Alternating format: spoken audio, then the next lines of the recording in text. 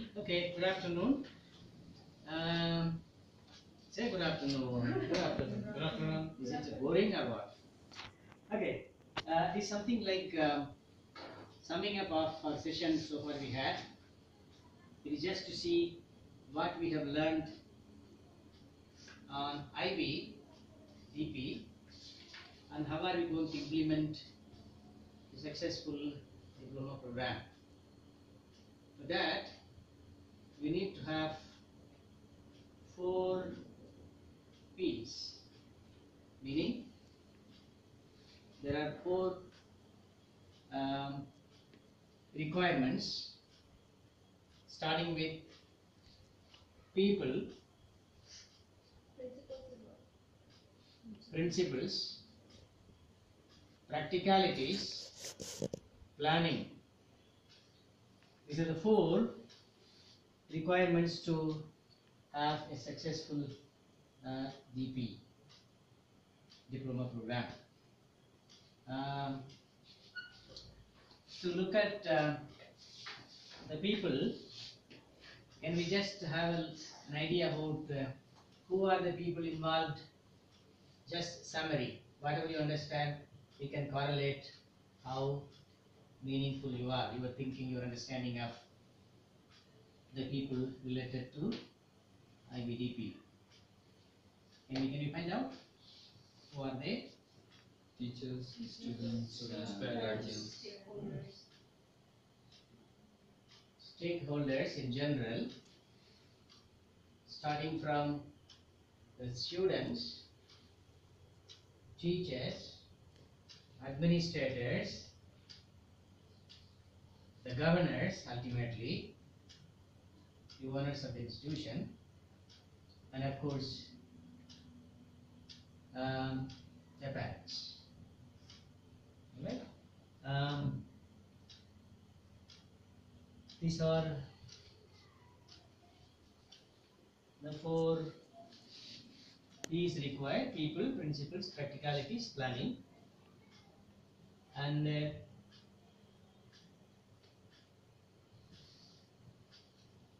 what do we have? Look at this. Strong support from the head and senior management. It is otherwise called SMT, Senior Management Team. Good student selection, Ability helps, but interest, attitude, enthusiasm are likely are very important. How enthusiastic your students are, how capable of completing a program, coping up with requirements of DP. It's not that we can admit anybody and everybody. So the selection process, that is selection and grading, grading and selection. So likewise, it has to be uh, appropriate. Strong student identity, special but not elite. Strong student identity, that means specific for IBDP. As it is to say again, not that anybody can do IB. It's not a cup of tea for everybody, right? Uh, a strong diploma management team DPC, CAS coordinator, area of knowledge, teachers and coordinators, librarian, technology coordinator, who else? The entire community as a whole related to people. Uh, that is precisely, if you recall standards and practices, that is uh, section 2 dealing with organization where it uh, talks about support professional support good administrative support the right dpc with dedication enthusiasm and leadership. The right CAS coordinator with enthusiasm dedication leadership. The right teaching staff good selection and training. Selection in the sense it's not like primary years program where everybody teaches every subject. Whereas here it is not the case. Um, training is important. Training is not actually the training that uh, we otherwise undergo Bachelor of Education, Master of Education. So here the training is related to IB professional development. The training given by IB. Three days face to face and about four weeks, not exactly four weeks, about four weeks online. Is very important. Next. Um, okay, can you just uh, little bit uh, talk on this? What kind of support do you give? Will you give as head? It's actually related to person like me, but otherwise as faculty, what kind of support you can give? Just a word or two. The resource, the resources, okay.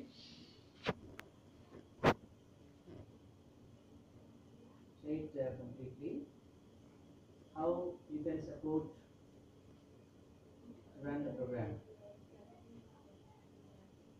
Strategies learned will be made use of to make it successful.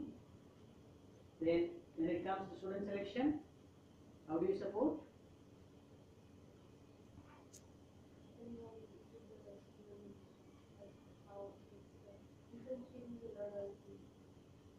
Okay, differentiated learning. Thereby actually There should be some selection criteria.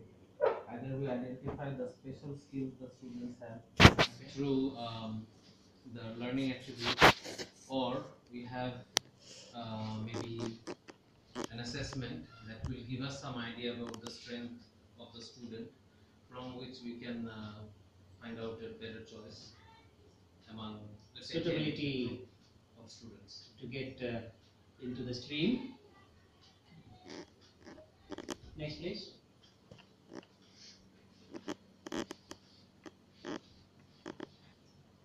Do you think you have all these?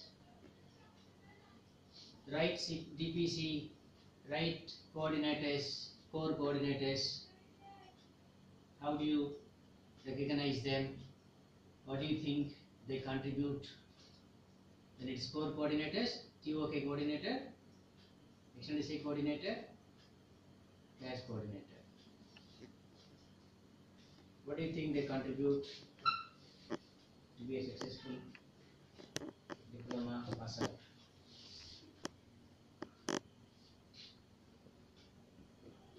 Do you think you have uh, competent uh, coordinators? Next, please. Uh, principles. Let's look at these uh, four areas pertains to the core.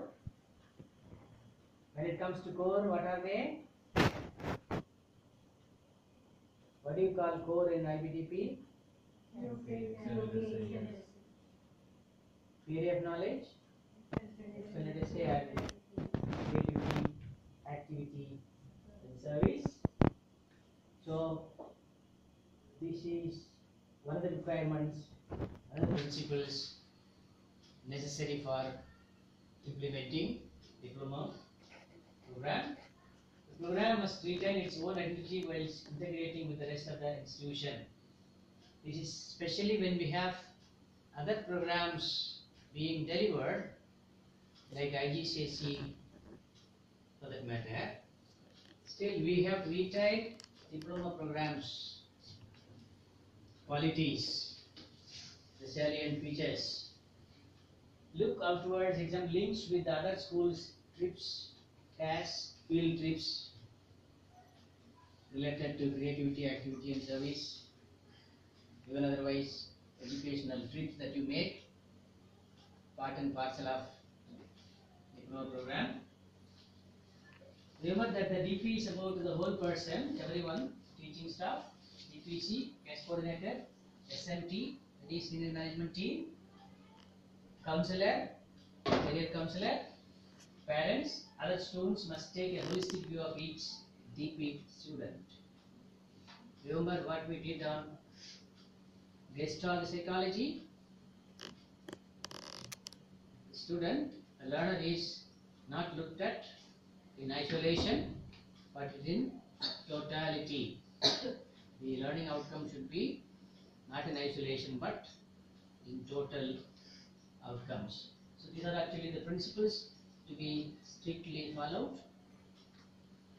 Um, if you look at this descending the student, particularly the DP students, so why it is the student is given uh, uh, is given separately at the top because when we have two different programs offered, student in general, DP students in particular. Okay, when it comes to DP students, in comparison to other students, CAS international mindedness, these are actually specific to DP. So you do not have CAS or international mindedness, say for example, WACE, for example, IGCSE. So those actually programs are more of uh, um, closed curriculum, whereas IB is open-ended, isn't it? Do not have that much scope relatively there. Next, please.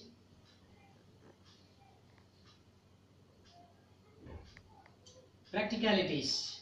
When it comes to practicalities, so saying is very easy, but when in, when we put into practice, there are difficulties. So what are the difficulties we face? Accept the challenges for resources and time. As you rightly said, resources very important.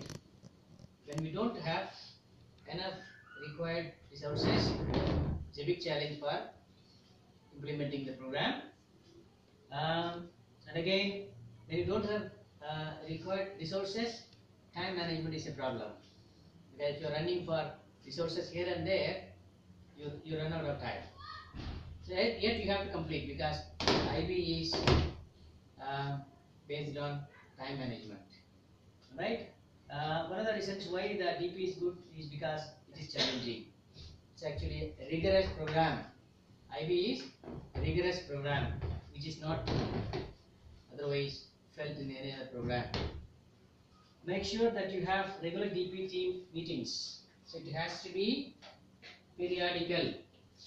Once in two weeks, once in a week, collaborative meetings, vertical meetings, horizontal meetings, CAS meetings, TOK meetings. Is it not? So it has to be there. So this is actually something practically difficult, but we have to meet. It's crucial to have a manageable calendar of assessment deadlines. So deadlines to be met is very very important. IB means deadline, deadline means IB. Just simple to follow. Make space for for TOK, HNLC and CAS. Do not push them to the sidelines. Like okay, we can do it. Sometimes it has to be equally uh, scheduled when it comes to timetabling. So these three should get equal priority in comparison to the subjects. Alright, next please. Okay.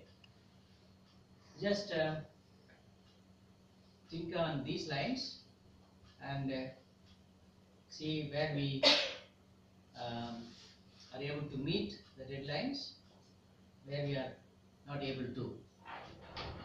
Alright? Um, so much so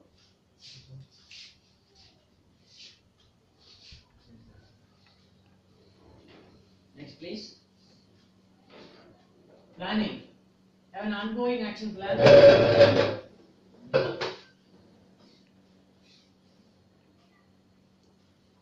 So what we do, all should be recorded. Every subject, every action we do is to be recorded and followed with uh, strictly. And if there is anything to be amended, revised, that again should be recorded. Alright? Um, that's what very many schools have, at least for five years, the action plan should be made. I made for uh, one batch, that is up to 2019, I have made, and that has to be reviewed. And constantly review and revise what you are doing, that's what. So we might do because uh, IB is actually believing in backward planning we think of something well in advance, but we might go wrong somewhere, or at least get slightly deviated. So accordingly, we have to correct that as per the necessity. Have clear goals, standards and practices, give full guidance here. So that's why actually we have to stick to standards and practices, especially curriculum, especially curriculum. Uh, whatever the standards are there, whatever the recommended practices are there, practice you can still uh, uh, make it better because those practices recommended by IB are globally recommended, but uh, depending on the local necessity, perhaps you can deviate slightly, right? And leave, leave the mission and the learner profile. So ultimately, a child when it when he comes out of DP should have realized all the learner profile, that is 10 attributes. Alright?